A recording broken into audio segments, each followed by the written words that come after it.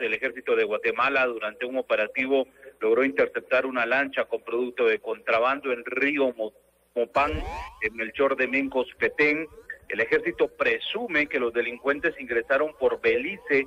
Eh, se ha incautado todo el producto de contrabando y hay capturas, pero será el coronel Rubén Telles vocero del Ministerio de la Defensa, que da a conocer datos concretos en torno a este operativo realizado en Río Mopán, Melchor de Mencos, Petén. Coronel, buenos días.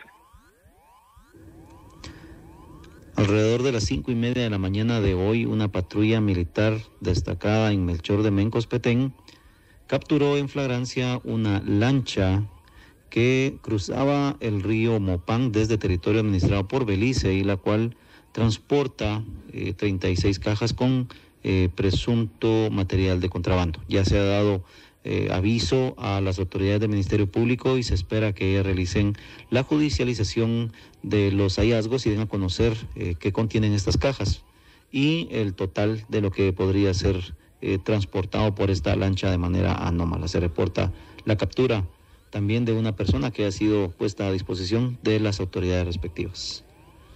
Según el coronel Rubén Teyes, eh, vocero del ejército de Guatemala, se interceptó la lancha en horas de la madrugada en el río Mopán, Melchor de Mencos, Petén. Presuntamente los delincuentes ingresaron por el país de Belice, pretendían ingresar lo que se podría tratarse cigarrillos de contrabando a Guatemala utilizando el eh, río Mopán, pero fueron interceptados por una patrulla militar.